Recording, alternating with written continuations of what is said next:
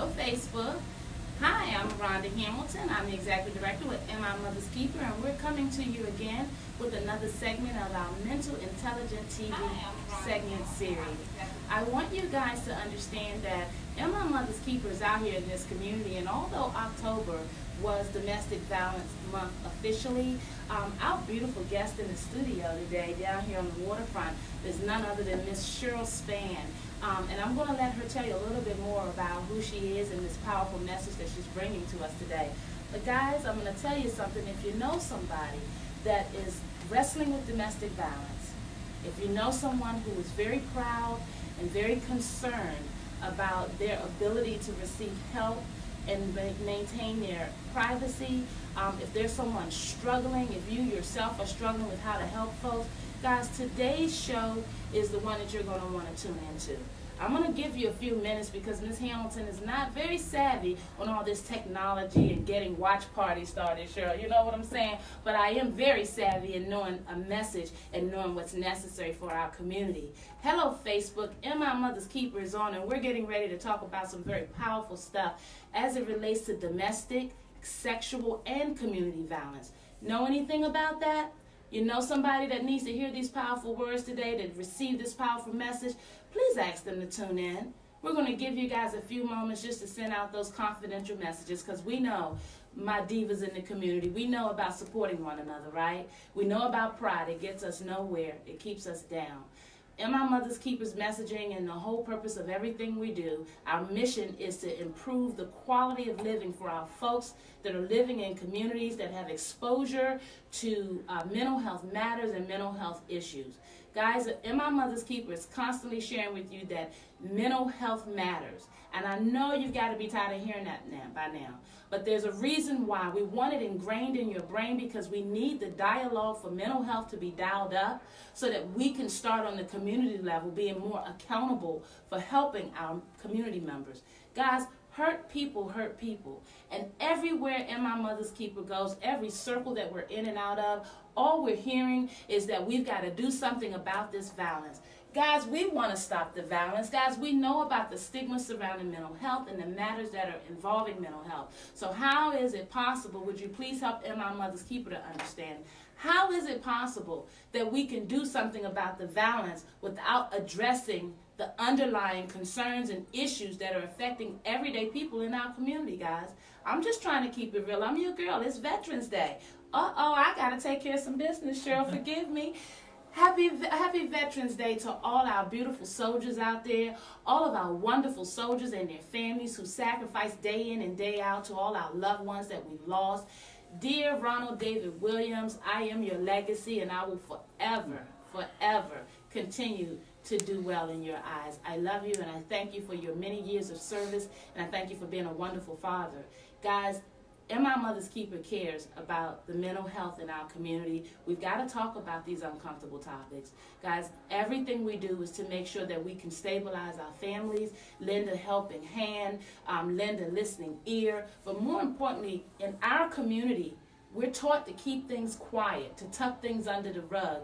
And those of you that had the fortunate pleasure of reaching a certain age, and I won't dare age myself, but those of us that have lived long enough out in these streets, we understand the importance of getting rid of those secrets. Those secrets are killing us, guys. And I want you to know something. You're not alone and you're not by yourself. We've got to get away from the stigma. We got to get away from being embarrassed. And my mother's keepers out here every day putting a face on what you guys think you understand mental health to be. Why? Because it's dangerous when we start labeling and pointing people out folks that really need care will not come out and speak on it because they're concerned that you're going to talk about them, laugh at them, or make fun of them. And we guys, we know domestic violence is no laughing matter. And you're going to find out a little more in detail in just a few moments. Guys, we're down here on the waterfront, 800 Main Avenue Southwest. Uh, we're down here at our community partners offices, um, the Waterfront Insurance Network. Uh, they do all kinds of insurance quotes, and you know me, you know I'm my mother's keeper. We're about keeping the community educated and empowered so that we can hold you accountable for the quality of life that you want to live.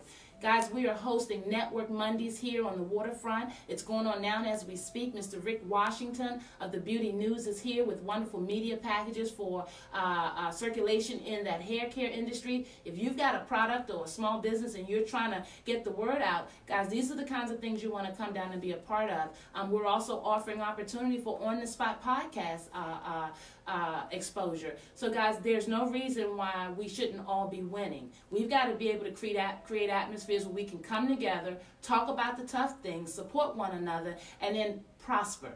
Okay? So, this is in my mother's keeper segment on domestic violence, sexual violence, community violence. Know anything about it? Of course you do. And my mother's keeper does work east of the river daily. And we are hearing the sirens. We're hearing our cries from our moms and our dads. We're losing our babies, and we've got to do something about the violence. And we all have to play our part and be accountable. Um, guys, without any further ado, I would like for you to join me and welcoming Miss Cheryl Spann. Cheryl, welcome. Welcome. Thank you so much for taking the time. And I want to give Cheryl a disclaimer because she's a wonderfully educated young woman and she's going to give you some powerful information. She was feeling under the weather and it's a holiday and even still she persevered because she knows the importance of getting this very powerful message out. So the first thing I want to do is I want to give Cheryl an opportunity because you've heard from me already, and you've already got your girlfriends on the line, and you've already reached over to that, that friend of yours that doesn't want to talk about it, that you know needs to hear stuff like this. Come on, Emma. Come on, Emma. I need your help out there.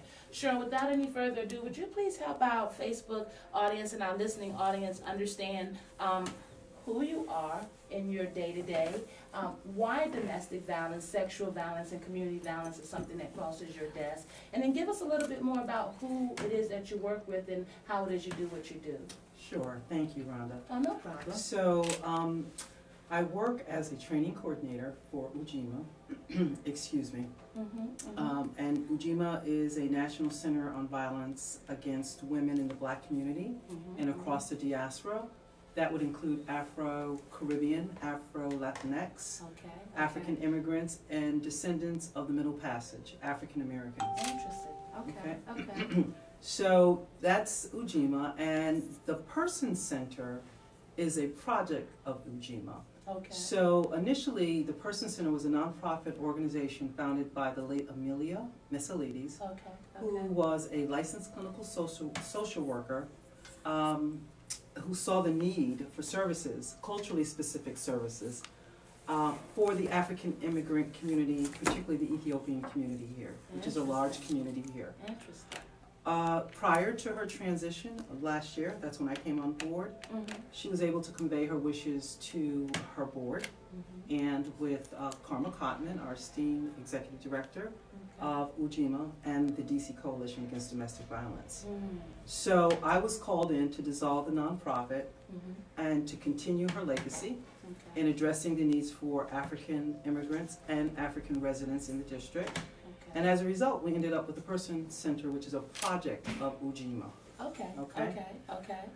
One other piece to that, um, the Person Center is incubated in Ujima and is also a member of the DC Coalition Against Domestic Violence, which is a federally recognized Mm-hmm. member organization, state funded, with over 17 organizations that provide social services and life services for survivors in the district uh, of, of District of Columbia. Mm-hmm. So my role basically is created like a hybrid to kind of cross sectors Okay. where there's intersection Okay. around violence with mainstream providers uh, such as Becky's Fund, House of Ruth, Okay. uh, okay. just to name a few, Dash. And then um, to also work with Ujima Mhm. nationally by working with the diaspora locally here in the District of, of Columbia. Okay, wow, you've got to be a really important young lady to carry on all of those uh, missions. It sounds like it. Those are some pretty important words there, Cheryl. But I mean, really breaking it down, you know, my heart just when I, I had the pleasure of hearing Cheryl speak um, over at a uh, forum in uh, Mayfair uh, Mansions not too long ago. And one of the things that impressed me is that there's all this wonderful information, and ladies out there, gentlemen out there, who are also uh, victims of abuse, um, and children. I want you guys to understand that the statistics in the African American community are so alarming. Um, and obviously, she, Cheryl won't be able to cover them all, but I just want to read a few uh, pieces of information to you, and then I want to direct you to the Ujima website so that we can start to all get involved and play more of an active role. I had a very wonderful time with a minister at the with the First Baptist Church of Glenarden this past weekend.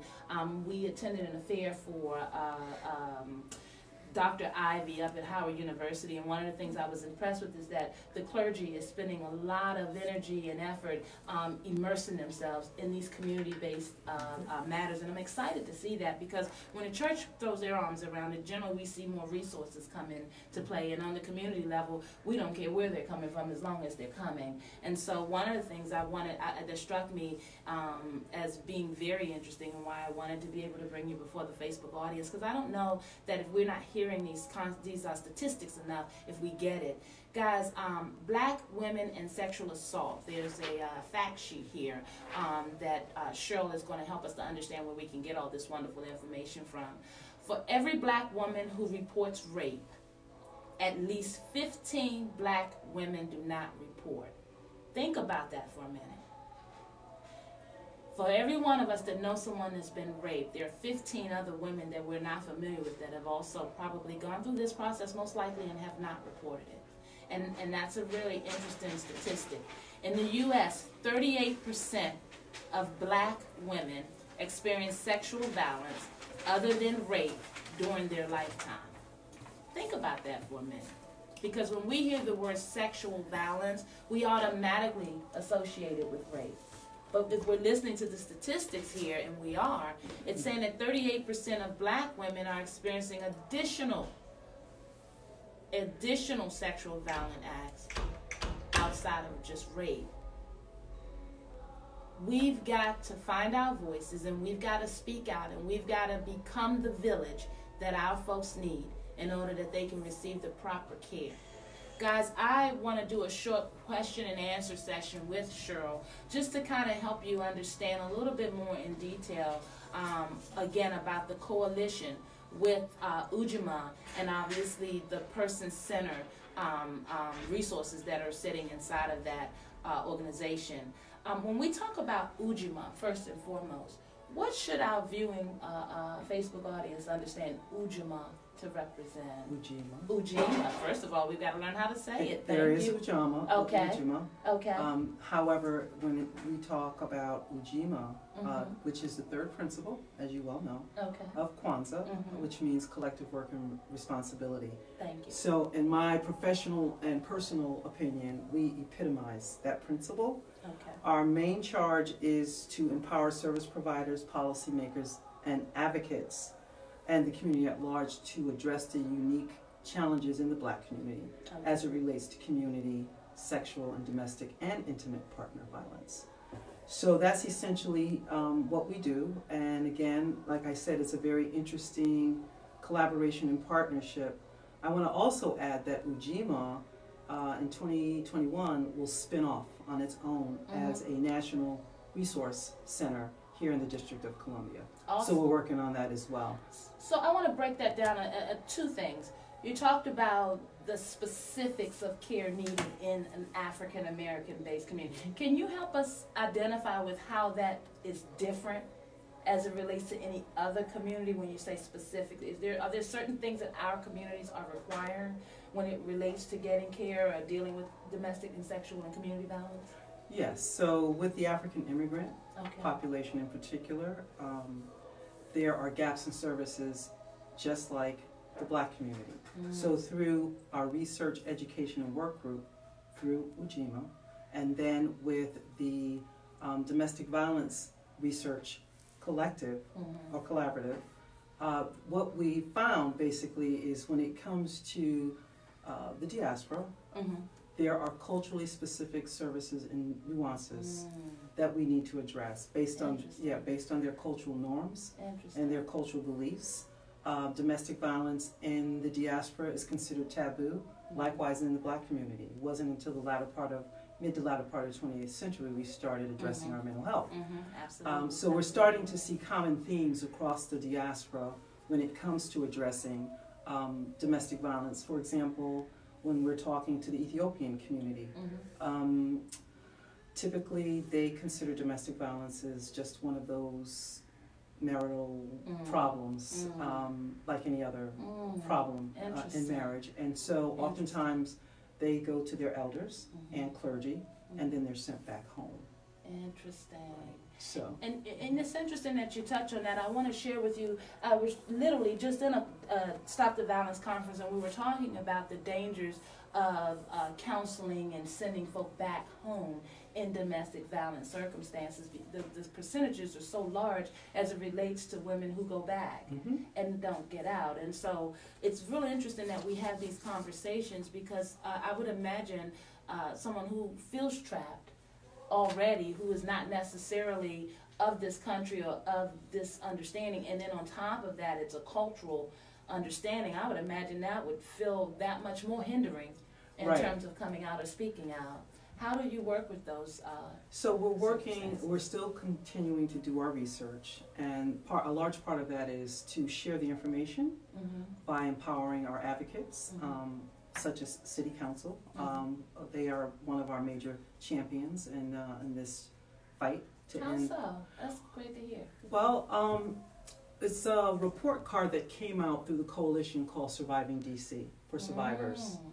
That, and there was a bill that was introduced by, uh, Councilmember Nadeau Okay, and championed by Councilmember Allen. okay.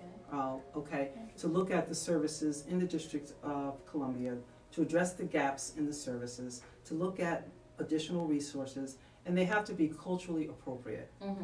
So one of the largest barriers in terms of culturally specific dealing with Asian Pacific Islanders, um, African immigrants is language access. Mm-hmm. So what we found was whenever um, the, the survivor is in need of services, Mm-hmm. oftentimes they'll have a family member come to translate.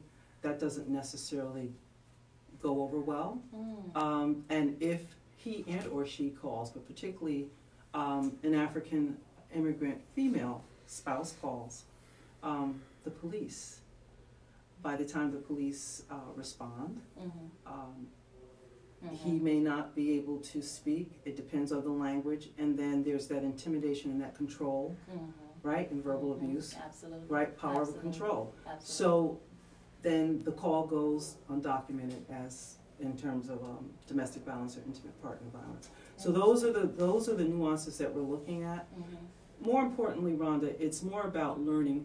Um, uh, we are culturally competent, but nobody knows culture in its entirety, right? We're always learning. So that's what we're doing here at the coalition with Ujima and with the Person Center. Okay, okay. And then how long has Ujima and this relationship in essence been around or been in existence as far as you are aware? the relationship w- between Ujima and, so Ujima was founded in 2016. Twenty sixteen? Um, Yes, and uh, like I mentioned before, um, the late Miss Miss Ladies Yeah. had already established the Person Center. Okay. And the okay. reason why the two had come together, Mhm. right, was because um, she wanted to continue her legacy. Awesome. So Ujima is going into its fifth year in Wow. 2021. Okay, And uh, TPC has been around a lot longer. wow. And the coalition, of course, has been Mhm. around, exactly. Mhm. So the three have come together, and I'm told that there's um, maybe less than a half dozen um, other incubated programs like this. So this incubation comes from, let me say this, from Health and Human Services. Okay, okay. So we're like a pilot. We are a pilot program to Mhm. address the violence in the community at large Okay. across the diaspora.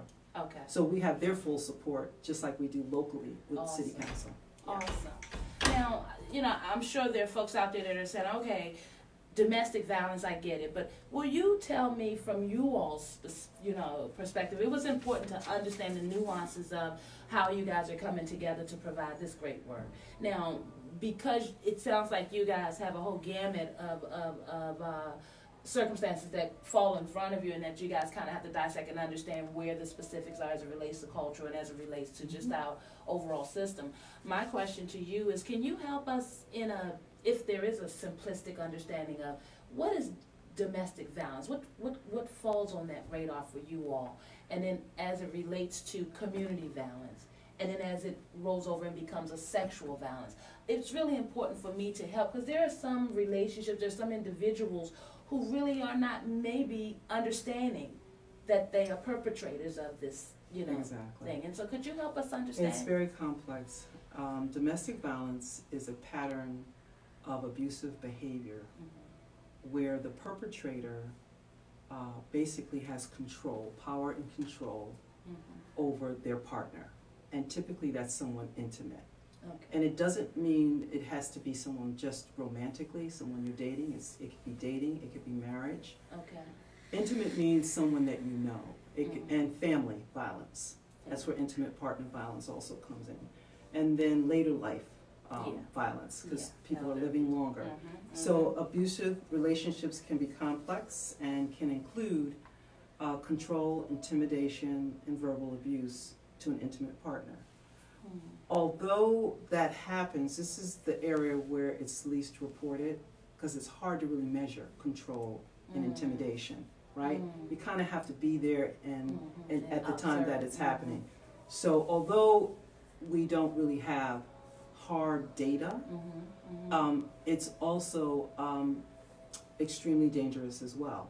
So Mhm. oftentimes people will ask, well, well, if he or she, because um, men are underreported, but they're also um, indicators where they're also experiencing sexual and um, intimate partner uh, uh, violence. Mhm, mhm. Well, why don't they leave? Mhm, mhm. You know Um, we get that question all the time. You- It's it- complex. The very fact that they may leave could lead to, yeah, death. Um, um, the outcomes aren't great. That much we do know. So we, what we do is we basically, uh, we have this mantra whenever we are engaging with survivors Mhm. across the spectrum. Mhm, mhm. A survivor is the subject matter expert of their Mhm. experience. So we allow them to drive and we allow them to tell the providers that are serving um, them what their needs are Mhm. and then we take it from there. Mhm. And it may involve safety planning while he or she is still in that relationship until they're ready.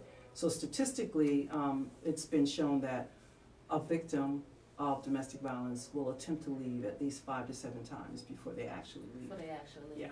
And so I, if I heard you correctly, it sounds like you guys are working with uh, victims in these circumstances even while they are still in Oh, the yeah. circumstance. Definitely. So how would I, if I'm listening and I'm hearing and this is something that I'm tempted to make that third or fifth uh, attempt, how would I affect Ujima's process and do, do I have to be a specific understanding culturally in order to make a call to a specific direction No. or do I just pick up the, You pick up the phone. okay, And, you know, um, and then we have the main number, I'll share a little later. okay, And then based on the requests or the nature of the inquiry. Uh, we have a pretty savvy team. They'll Okay. direct to any one of us and um, we'll take it from there. Okay, and I'm imagining that in Ujima's process, there is safe housing and there is protection of identity and So with, this is, with the person center, the person center, okay. and That we do have case management, yes. Okay. There's never enough Oh, um, Don't safe, affordable housing. No, So to that's a whole nother show, Cheryl. no, this is But true. it's the truth, though. But we, we are working with the housing providers that provide shelter to the homeless population. Because Okay. within that population, there is DV and Absolutely. IPV. So we got a contract with Community Partnership, thanks to HUD. HUD is on board as well. great. And what HUD has basically done is they've incentivized the mm-hmm. training. Awesome. Because as you know, it's not enough just to have housing if there's trauma. No, And then when they show up again in the programs, absolutely. exactly. Absolutely, absolutely.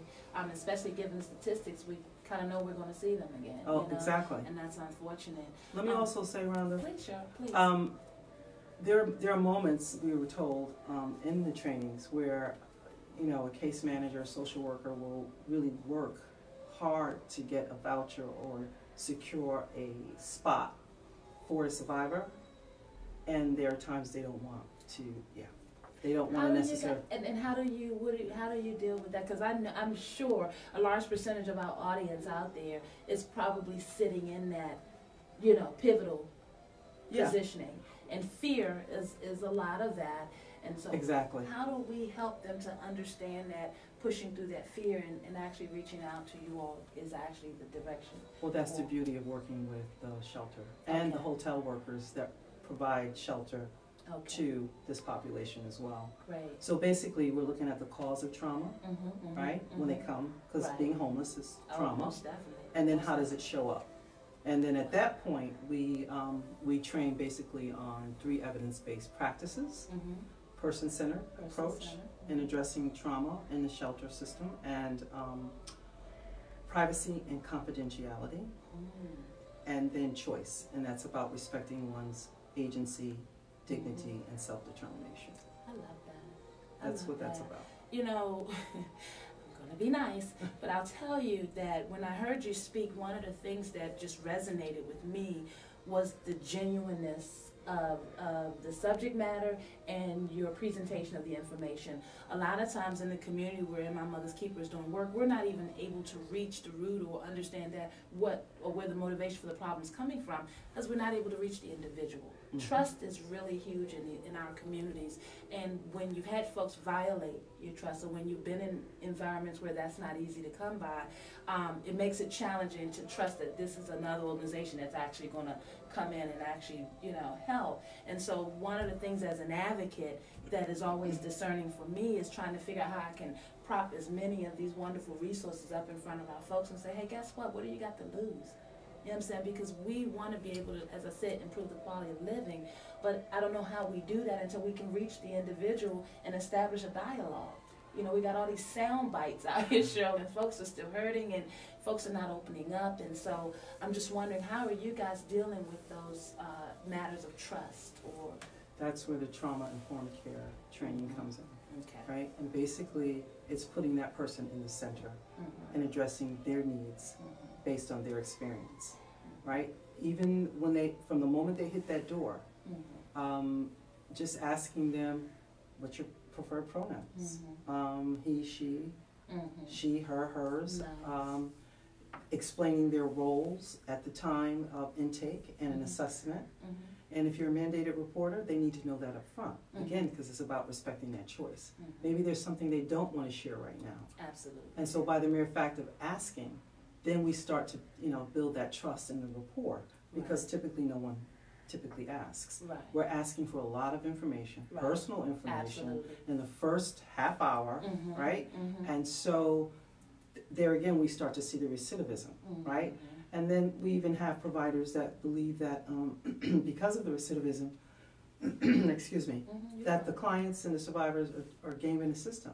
So I take a moment to ask how. Thank you for addressing that. Yeah, I mean, you know, I we do that. Um, our trainings are more like this. Mhm. You know, we could do the PowerPoint. We decided we get more bang for our buck when we have a very transparent Absolutely. conversation. Absolutely. And then we have exercises built in there in the, in the training to basically expose our implicit biases. Mhm. So if you feel that your client or your survivor is taking advantage, Mhm, I will put a pin mhm, and we will have that discussion. mhm, Tell me what that looks like, and they will. So typically, um, the comeback is, you know, we really don't know. This is what survival looks like. Absolutely, absolutely. They're And- surviving. And you know, and I know you get it, there's a tug of war with those of us in the community that mean well and we do Mhm. care and we do our part. But boy, can we have trouble putting that judgment aside when folks are really, when we just really don't understand We it or do we want it to be exactly right. something different. Um, boy, do I love that. Um, because one of the things as an advocate that I'm always challenged with is trying to protect that individual from being re-victimized. Uh. And so a lot of the times I'm seeing it firsthand is that, you know, the, the, the person-centered care uh, attitude is absent. absent. I've accompanied my community members down to Virginia Williams, and not to call you by that, I'm just speaking on it because we're talking about um, domestic violence and Mhm. shelter and homelessness, and a lot of our citizens are affecting these organizations, and we would not be. Uh, who we are if we weren't going to be transparent in our work. And when we go to the community level, we go to help and we share with our community members that you can trust in us, that if you're sharing these unfortunate situations, we want to speak on it, we want to go in. Um, because in some instances, Cheryl, um, the voices are captured and so they're not Mhm. able to speak what it is that they're going through, so they get frustrated and they shut down. The reality is, is that the nature of homelessness in our city as it relates to domestic violence circumstances, homelessness, um, you name it, we've got to deal with this. And we've got to call a thing a thing if we're really going to get people help. And, and so one of the things that concerns me, as you shared, coming through our shelter and our systems where we already know we have a strained system. We know that there's mm-hmm. some things we could be doing better. You know, this is not that type of a show. But the reality is that we've got so many people that are out there that are lacking the resources, that are stuck in these circumstances, um, that need a little more compassion. I myself came off the sidelines because my mom trying to get help down in uh, uh, social services, just the lack of empathy and the lack of education for, That's it, the lack of it. oh, So if there's no education, there's no no empathy. empathy. And then, you know, we let the providers know that they're already doing it. Mhm.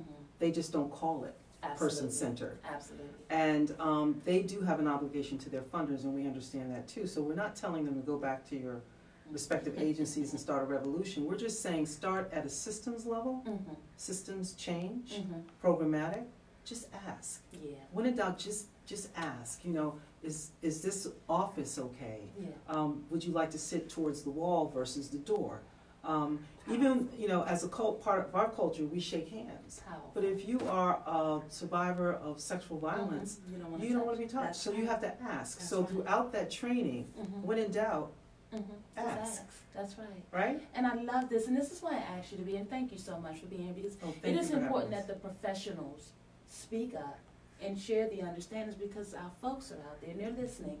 And when they do see that you care, then the walls come down, and then we're able to truly start helping folks. And so, uh, all too often, the first thing I hear um, is the rejection is so real, um, the lack of respect Mhm. the lack of education. But these are the people that are put in charge of my care. And so I'm supposed to humble to them, but there's no respect to me. This accountability thing, depending on whose circle I'm in, it can go either way. But the reality is, is that we've got all figure this out and come together. And the reality of having you on today was to reassure our community members that there is a structure, there is an empathy, there is a way through this, and there are qualified, competent folks involved that are getting all of our agencies on board. Um, you've heard HUD is involved, you've heard the city council, um, you've heard Allen, who's a six, uh, Ward six, and, uh, Mhm. Nadeau Ward one. Mhm. So, um, it's important for our citizens to understand that it takes a village to Yes. get through these things, and if we know that we've got professional, uh, empathetic, uh, uh, uh, folk out here to receive you and help you, there's no reason for you to stay in these circumstances. We don't want you in harm's way. Um, however, we need to help you. We want to help you. And not everybody knows how to, but I want you to know that MI Mother's Keeper are in touch with folks that will know how to help you. So when in doubt, you can always, always call MI Mother's Keeper. Um, 240 274 9436 is our number, and www.mimotherskeeper.com. I'm saying that because I want you guys to know that we will walk this walk with you. We want everyone to live their best quality of life out there. Now, community violence, we talk about domestic violence, and I would imagine that we've hit that mark enough that folks are starting to come into the understanding they believe Mhm. of what that is. Touch on community violence and why that might be a little bit different than what folks typically understand it to be. It's an exposure to intentional interpersonal acts in the community Mm. okay, against, excuse me.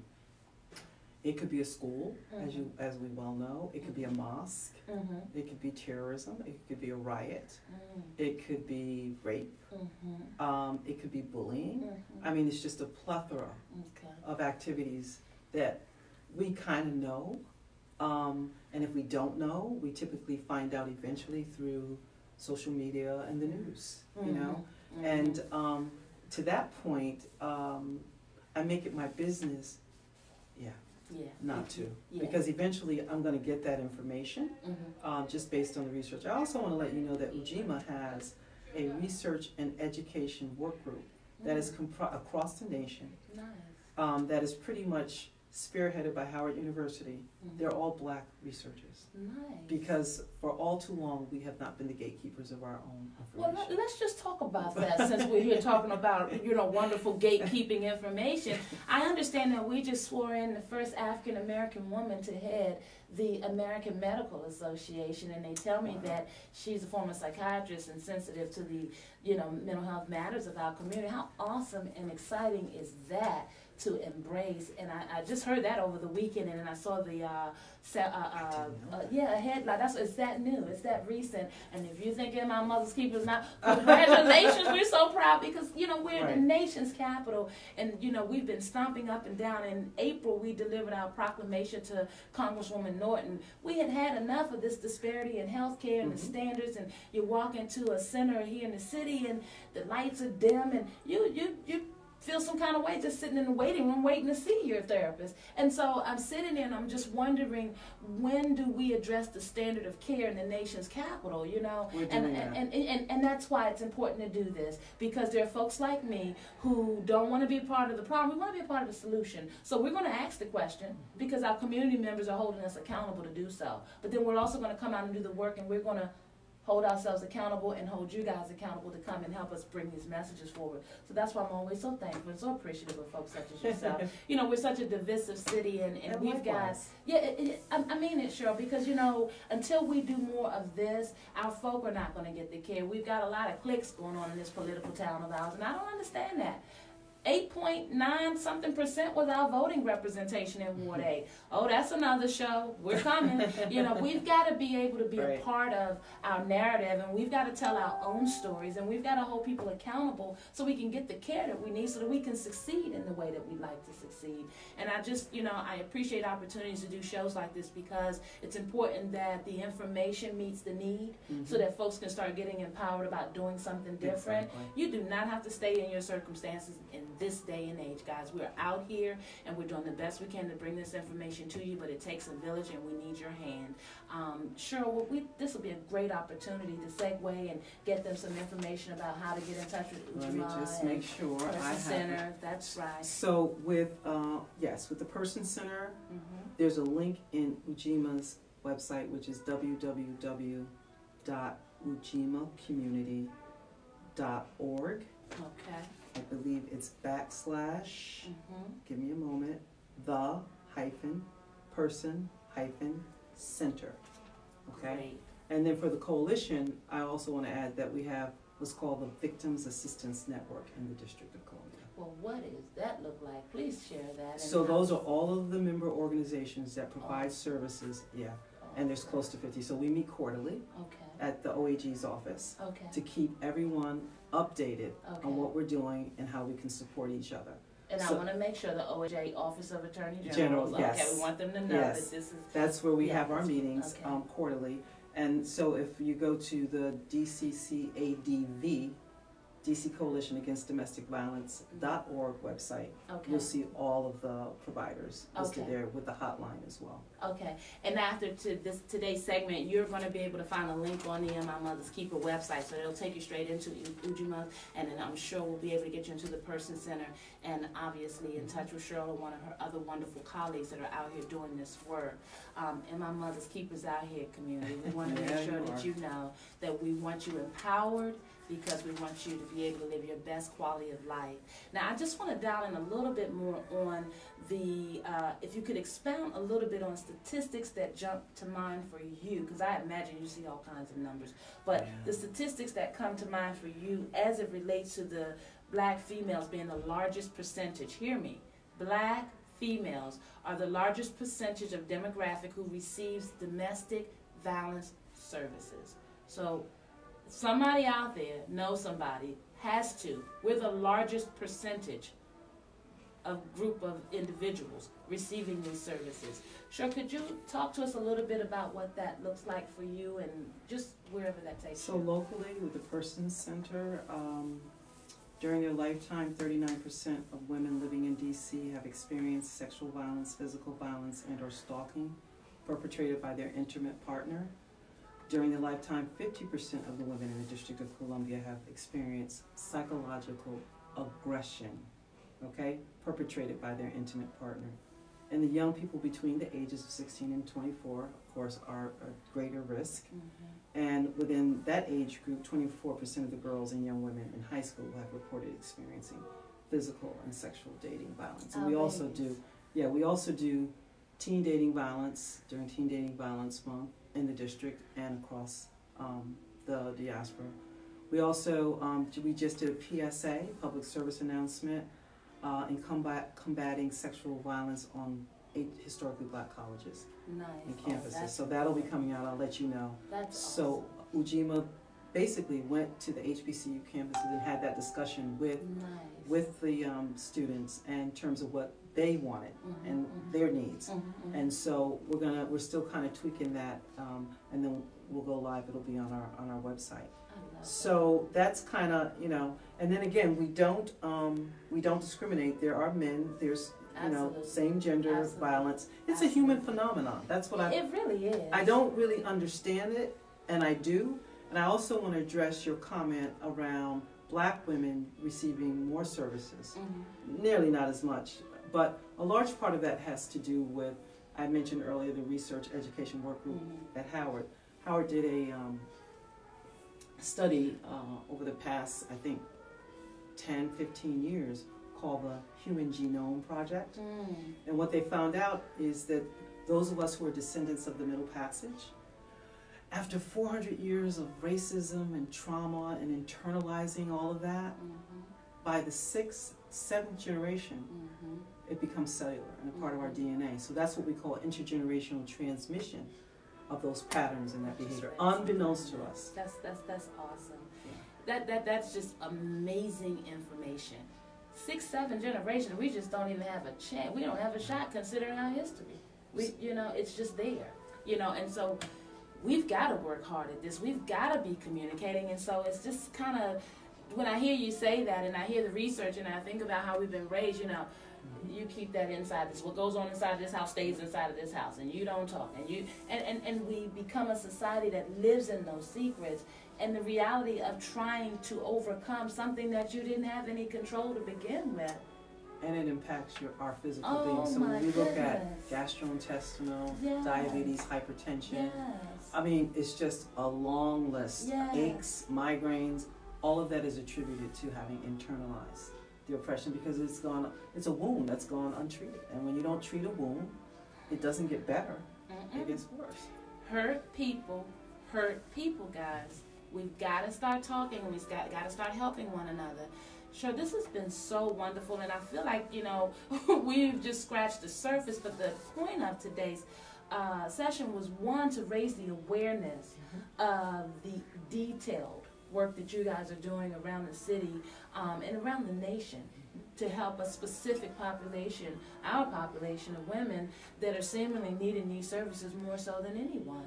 And so it's important that we also share in our accountabilities for trying to figure out how we can help uh, more of our women. I know with mental health and, and a lot of the research and, you know, when we're in our classes and such, uh, it's amazing when we understand the effects of domestic violence and how uh, mental health, the, the correlation of it for mental health. Now, the one thing I want to understand from your perspective, stigma is something that we deal with on the mental health side that's really, you know, something that systemically it's just stifling.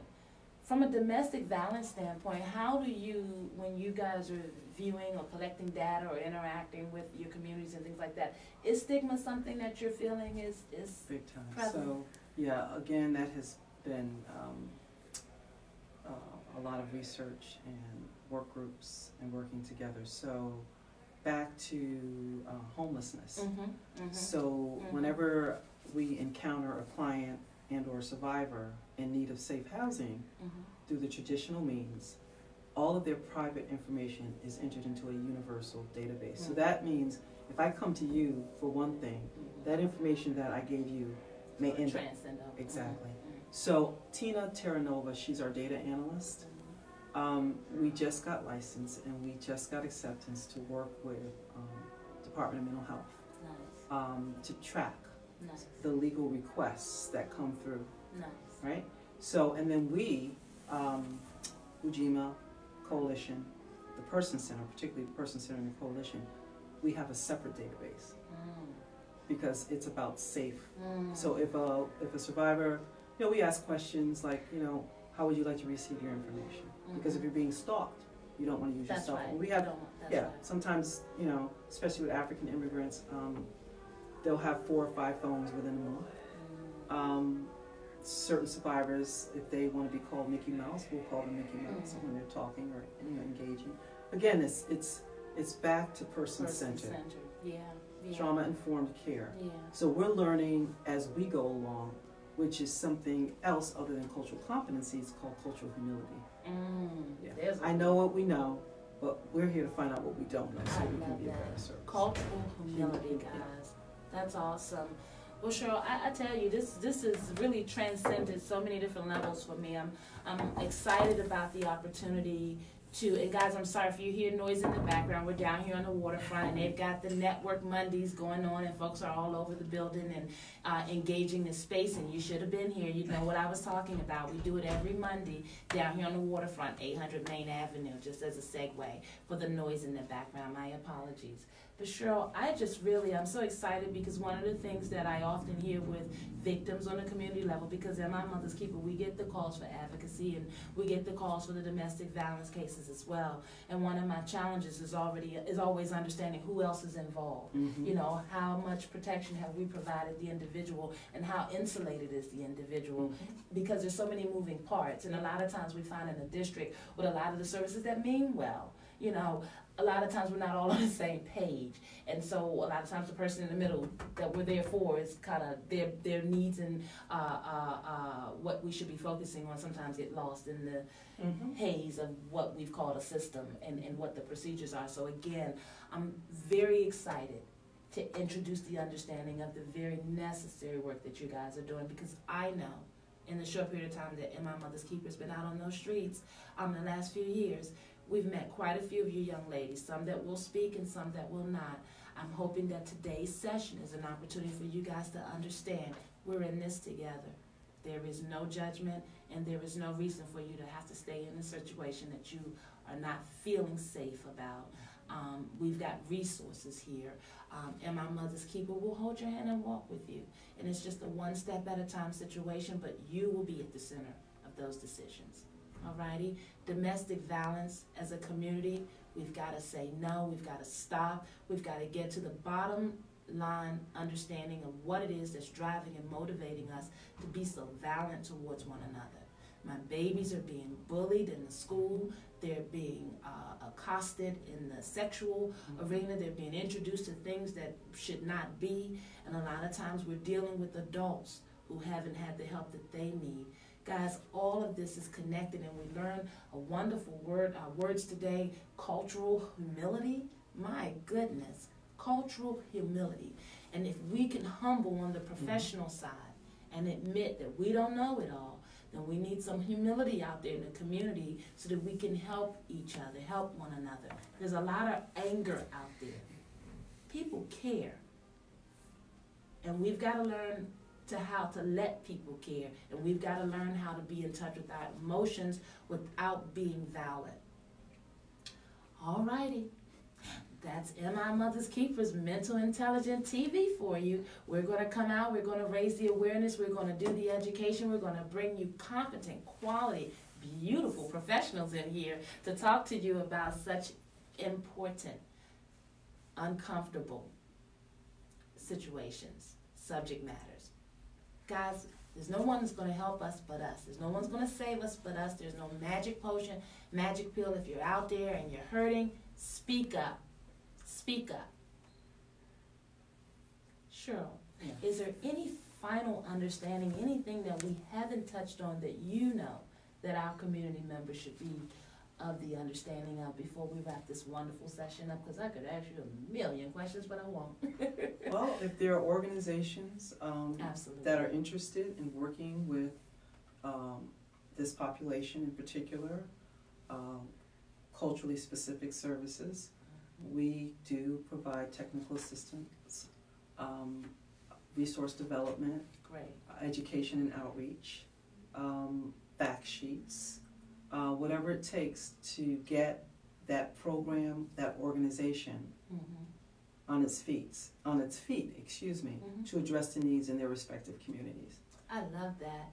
So all my wonderful principals out there, all my wonderful social workers out there, all my wonderful pastors, ministers, all my wonderful leaders out there that are in front of populations who could benefit from this beautiful and necessary information, please do follow up.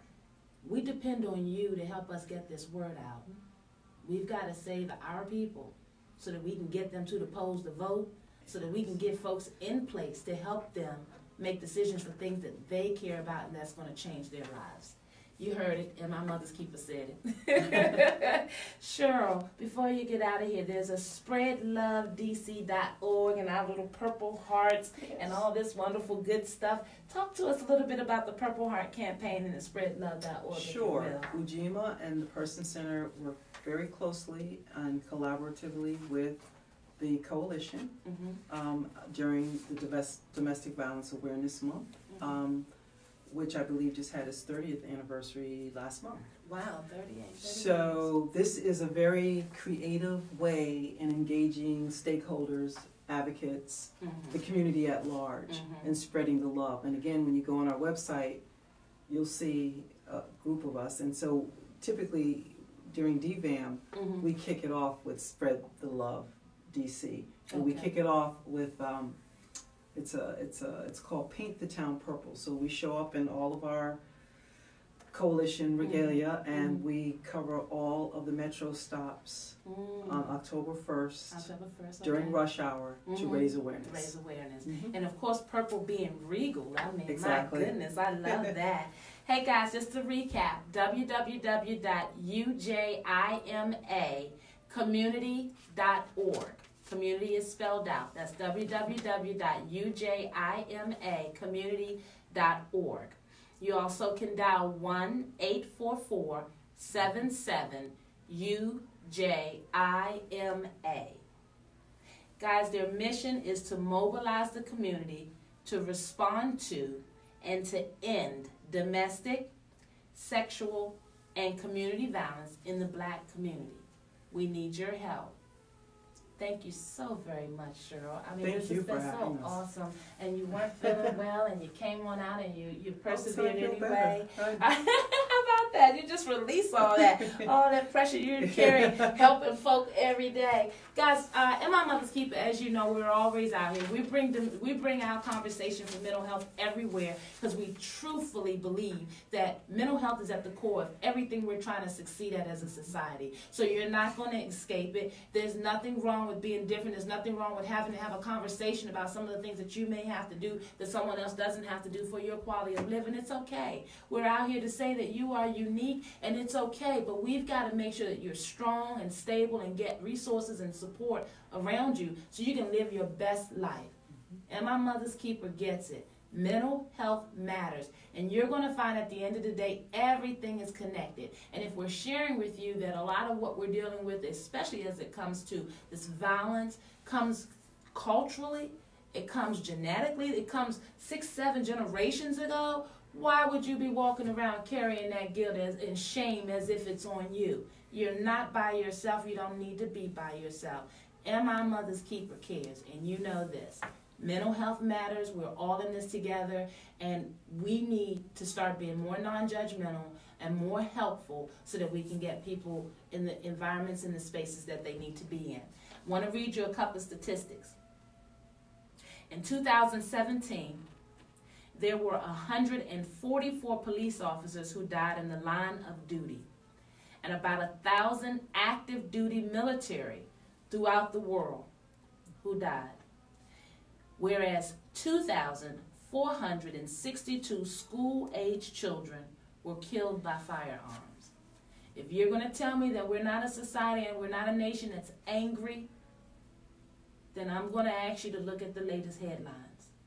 Babies, we're losing our babies. The violence has to be addressed, and we've got to figure it out. It's not corny to want to save a life. And my mother's keeper wants you to know that we're here every Monday. Uh, did, were you going to say something? I was just gonna I'm add to your stats, that that's one of the leading causes of, um, death for black women is homicide. Look at that. They're their intimate partner, so oftentimes that's another reason why they stay. They don't wanna be homeless and they don't wanna die, so. We don't do this to be popular. We're not about the celebrity thing. God knows you know me. I come out and I show you who I am because I need you to understand the message. And the message is that in our community, our statistics on violence, on death, and how we deal with one another and how we treat one another are horrific. We've got to do better. When you know better, you're supposed to do better. And my mother's keeper is challenging you out there to adopt a situation or circumstance in your workplace, your school, your church, your community, and help foster it to a positive circumstance. We all have to be a part of this. The violence needs to stop. And we're acting out because we're not able to speak on it. We're acting out because we're hurt. We're acting out because we don't have answers. But you still have to be accountable for your actions and we want to help you to do that. We've got wonderful resources. We've got a wonderful city here. We love our city. Go Nats! you see what we can do when we come together? We can perform on a champion level, but we've got to do and take care of our issues. And my mother's keeper signing off. I'm getting ready to go out here and check on this network party and see who I can put in front of you. It's about empowerment. It's about winning. It's about supporting one another. We're down here on this waterfront bringing a positive noise. We believe in all things wellness. Why this hits our radar is because mental health is at the core of everything you hope to be successful at. If you're looking for that job and you haven't figured it out, you just started a new business, you're a little stressed, a little scared, a little worried that you made a decision in haste and now you've got to figure out the money to advertise, you're a little too proud to speak on it. Been there, done that. We're asking you to start getting into circumstances of support so that you can elevate your living. Can't elevate when you're constantly holding on to shame and being quiet and being secretive. Keeping secrets and being shameful creates mental exposures that you don't need to have. Okay? Find somebody you can trust and speak to.